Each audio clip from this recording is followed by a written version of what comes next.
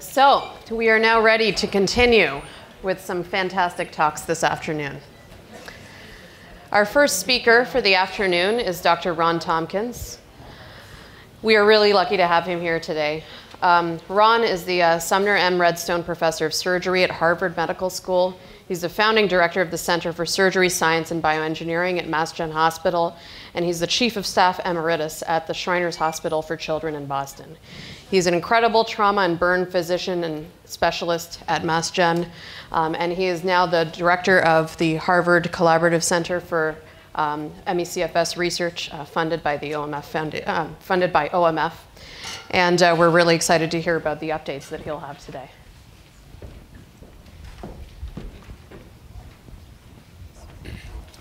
Uh, I've worked with uh, Ron Tompkins for at least two decades. And um, I've always wondered why I get along so well with him. And then I discovered that he is a chemical engineer from MIT, it's one nerd to another. And uh, but that's good because it means we we speak the same language. And uh, uh, one of the big projects we worked on was a trauma project, and and, and initially doing that was. Um, uh, working at a lot of the technologies and with patients and so forth and realizing how complicated that is. I learned a lot from Ron Tompkins. And uh, then looking through the early data from, from MECFS patients, there's, there's quite a large amount of similarity to what happens uh, in, in kind of a trauma event. And, and, it's basically how the, lots of the components of how their immune system responds and so forth. So um, we thought we could probably learn a lot by doing that comparison and also having somebody with a lot of experience with trauma and also what works with them and what, how you can treat them and so forth. So that's the reason he's here. Uh, that's the reason he's set up a collaborative research center um, at the Stanford of the East.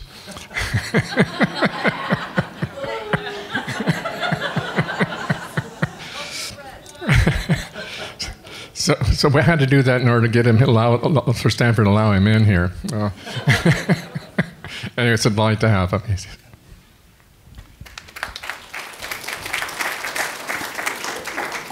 Thank you so much, Ron.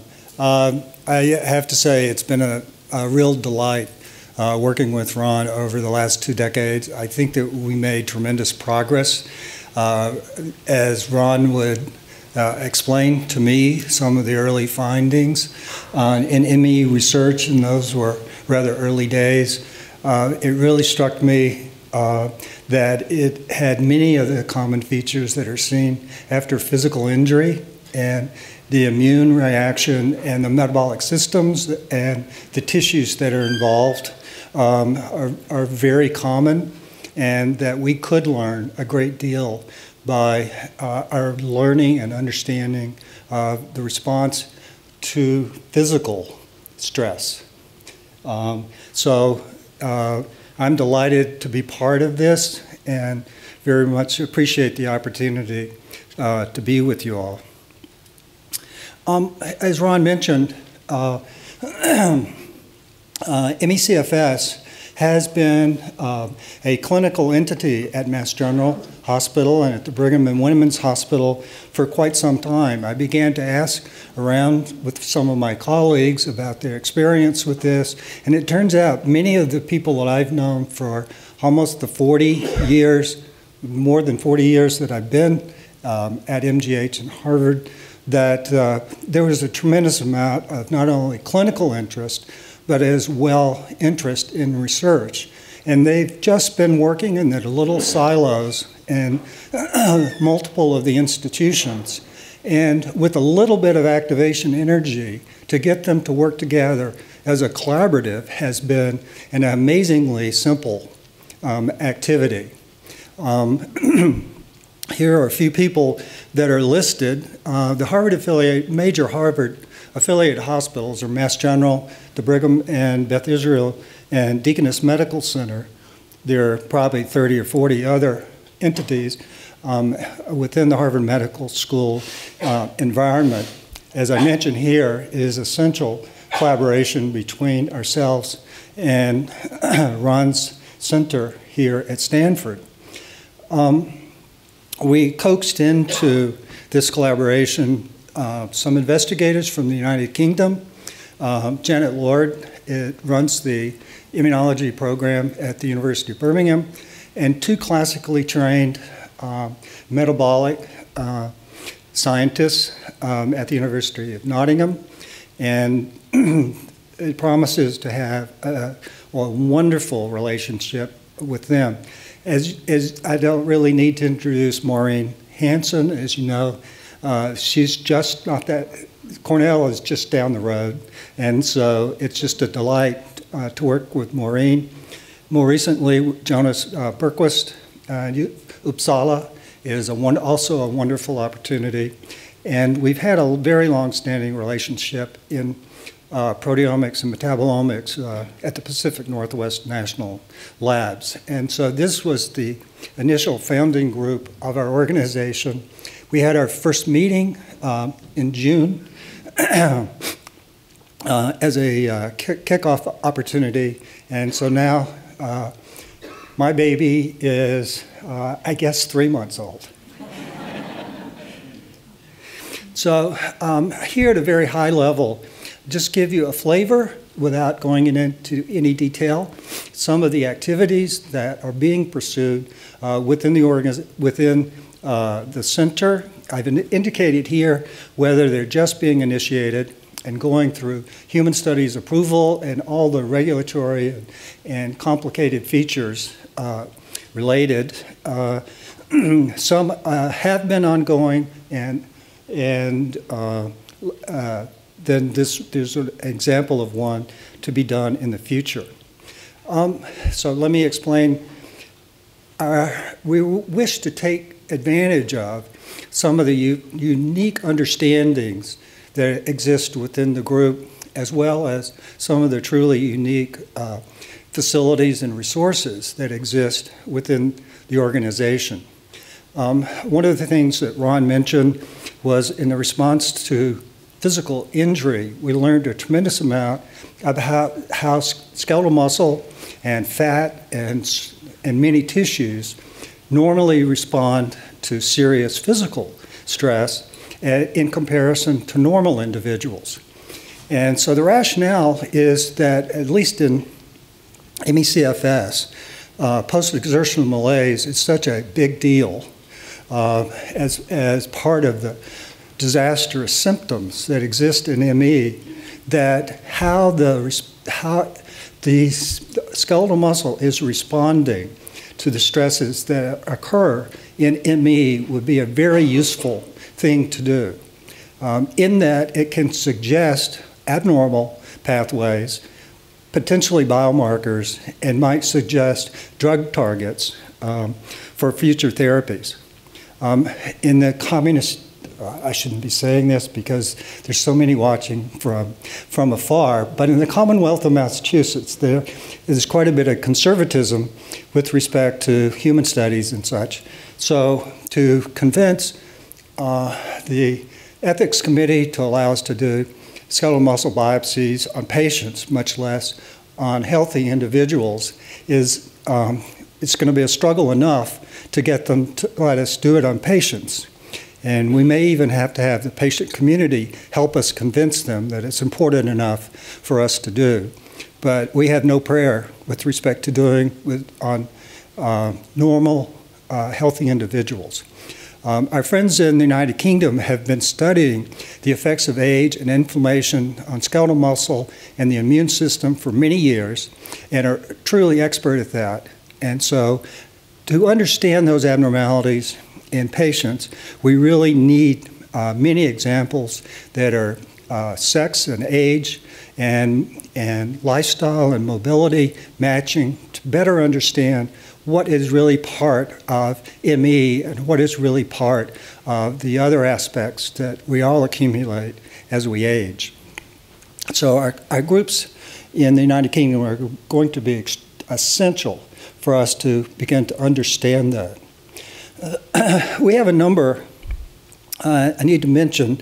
Um, both at the MGH and the, and the Brigham um, have been doing invasive CPET, cardiopulmonary exercise testing, And what that means is uh, it includes a radial arterial line and pulmonary artery line. Both of those are invasive.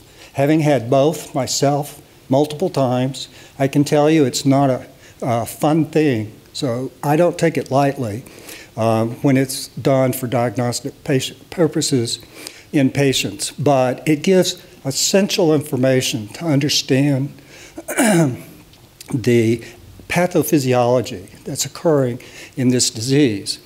Um, I would, like to share with you, I don't really have time to go through it in detail, and I'll mention it uh, one, uh, a little later. There's a very specific abnormality in the cardiopulmonary exercise testing uh, that is consistent with MECFS. This has been done in a bit over 300 patients uh, with a very sound diagnosis of ME, and we're very interested in pursuing the mechanisms related to that. Another unusual opportunity is that we have two imaging centers, um, one exclusively in PET imaging, positron emission tomography, and a second facility that is primarily has been magnetic resonance imaging, um, but it has two of, uh, of a handful of instruments that actually combine both. Um, and we've had them for about 15 years. So it's an opportunity to not only get extremely good structural information, but also functional information in the specific uh, brain nuclei that are activated in this disease process. And so we're very excited about that, and that activity is led by uh, Michael VanElzakker. I forgot to, to mention our CPET studies are led by uh, David Systrom. I mentioned here in this slide that in the long run, we would like to have a clinical center of excellence. Now, that's not to say that we don't take care of uh, actually thousands of patients within the MGH Brigham, but it's not a center of excellence. It's, it's sporadic, and there are a number of physicians and other clinicians that are quite knowledgeable, but it's not an organized center providing all the necessary support activities um, that we would like to see. And in the long run, we would hope that we would find um, a philanthropic individual who would be willing to help us um, develop such an activity. There's a tremendous interest within both the scientists and the clinicians um, at both the Brigham and the MGH uh, in order to do this. And we'd love to understand this disease at a much higher level. Number six is really talking about studies to understand the, this form of preload heart failure and in understanding it, um, better develop. So this is preload heart failure that is associated with uh, predictable uh, post-exertional malaise symptoms, as well as often enri uh, population enriched with what we would call POTS. So I think it offers a tremendous amount of understanding of some of the, the mechanisms and maybe therapies that we'd be using for those aspects of uh, the disease. Let me just mention here um, uh, computerized adaptive testing. Um, we, uh, together with individuals at Boston University, have been very actively involved in developing um, uh, artificial intelligence driven questionnaires that allow patients to very accurately describe their symptoms. And it's much like if you're sitting down with the, doctor and they are asking you various characteristics, frequency, and other associated features, let's say with uh, uh, your uh, malaise or your fatigue or your pain or your, your sleep patterns, uh, one can make a questionnaire that is artificially intelligent uh, with regard to those questioning and enabled by machine learning to make that process as efficient as if you were sitting down with the clinician. In those circumstances, you would get a report that you could take with you when you go see your, uh, your clinician. And the clinician, it makes their job easier because they can confirm that what you have in your report as how you feel, and you spent time and made it exactly the way you want it. And they also can simply confirm that things that are not there are truly not there uh, to their satisfaction. So it's intended as a tool to help your doctor not only to diagnose, but also to follow you in the office. And it might actually even facilitate doctors who are not as expert in ME CFS to better understand uh, where you are with your symptoms. Uh, in this day and time, when the, you get 15 minutes with the doctor, it's hard to convey everything that's going on with you at a particular time. And this is an artificial intelligence tool to help you do that. That will take about at least three years, and we're beginning, we're initiating that program. Of, of, course, as a center, you have an obligation for public uh, awareness, professional activities. We want to engage other doctors who don't, and uh, other healthcare professionals who are not familiar with ME. What are the issues? And so that they can identify you as a patient with this disease. And we've already, uh, together with uh, the Massachusetts MECFS uh, Society, which, by the way, I think has been in business for 30 something years. Um, and we're working in collaboration with them to accomplish all these interactions with the medical and public communities. Um, in the long term, uh, the hospital, uh, MGH has an extensive research program by itself of about 800 million a year.